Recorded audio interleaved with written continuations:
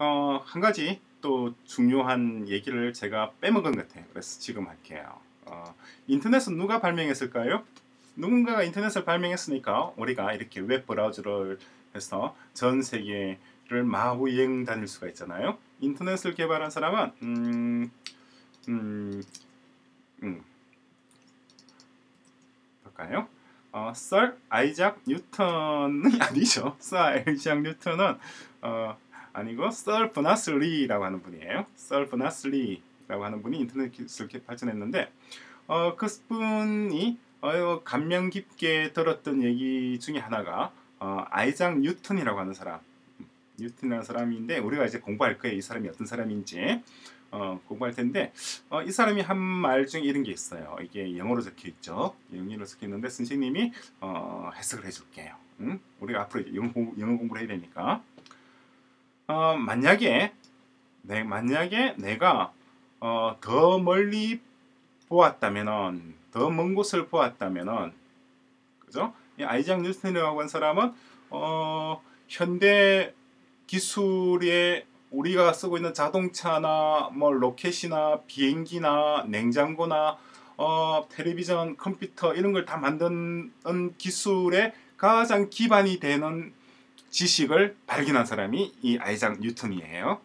그 사람이 대단한 사람이죠. 우리 인류 역사에서 정말 우리가 쓰고 있는 뭐 형광등, 전등, 자동차, 진공청소기, 뭐 컴퓨터, 키보드, 마우스 이 모든 것들이 스마트폰 뭐 이런 것들이 다 이분이 발견한 지식, 이분이 연구한 결과물에 기초를 두고 있어요. 그만큼 훌륭한 분이에요. 영국 사람인데 아, 주 오래전에 사셨던 분이에요. 몇백 년 전에 사시던 분인데 이분이 한 말이 내가 만약에 남들보다 더 멀리 봤다면 if I have seen further 그죠? It is by standing on the shoulders of giants 그건 왜냐니까 it is by standing on by는 뭐뭐에 의해서라는 뜻입니다. 그럼 standing은 서 있단 말이에요. 그리고 on은 어디 위에예요.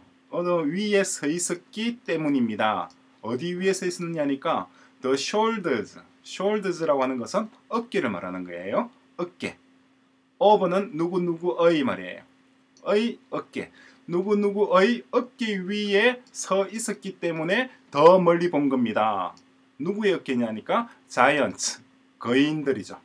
거인들의 어깨 위에 서 있었기 때문에 더 멀리 볼 수 있었단 말이죠. 그냥 그냥 사람이 서서 보는 것보다는 누군가의 어깨 위에 올라가서 보면 더 멀리 볼 수 있겠죠? 그죠? 이게 무슨 말이냐니까 내가 훌륭한 연구 성과를 내었다고 사람들이 나보고 위대한 과학자라고 얘기를 하는데 내가 위대한 과학자가 될 수 있었던 것은 뭐냐니까 나 이전에 나 이전에 있었던 사람들이 연구했던 그 결과물들 그걸 내가 배우고 공부를 했기 때문에 내가 지금 이만큼 성과를 이룰 수 있었다는 거죠. 그래서 여러분들도 어, 여러분들이 태어나기 이전에 혹은 태어난 뒤에 어, 위대한 사람들이 만들어 놓은 많은 성과들이 있어요. 컴퓨터도 그런 것들이고 그리고 텔레비전도 있고 자동차도 있고 비행기도 있고 있잖아요. 이 비행기는 누가 만들었을까요?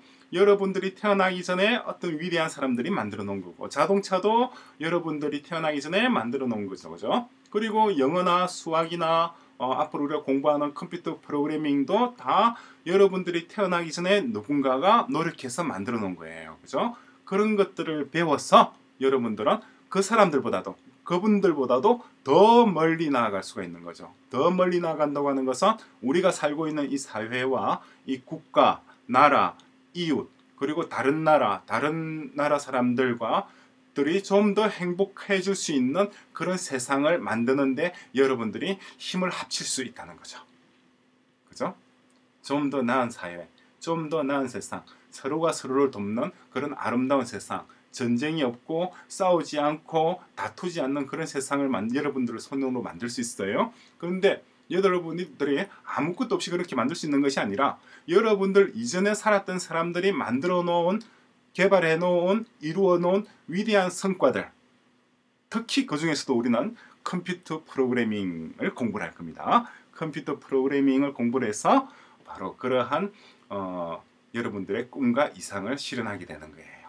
그래서 바로 그것이 오픈 소스의 정신입니다. 오픈 소스의 정신은 다른 사람들이 이루어놓은 성과 위에서 내가 더 큰 성과를 이루고 또 내가 이룬 성과를 바탕으로 내 뒤에 올 나의 동생들과 나의 자녀들이 더더욱 큰 성과를 이루어서 우리가 살고 있는 세상이 점점점 더 아름답고 전쟁이 없고 싸우지 않고 다툼이 없는 평화롭고 사람과 식물과 동물과 바다와 산이 다 공존할 수 있는 그런 세상을 향해서 나간다는 거죠.